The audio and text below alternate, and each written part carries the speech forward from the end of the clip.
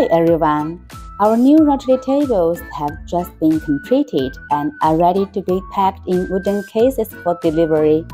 The fastest lead time is one week. Welcome inquiry. Thanks for watching my video.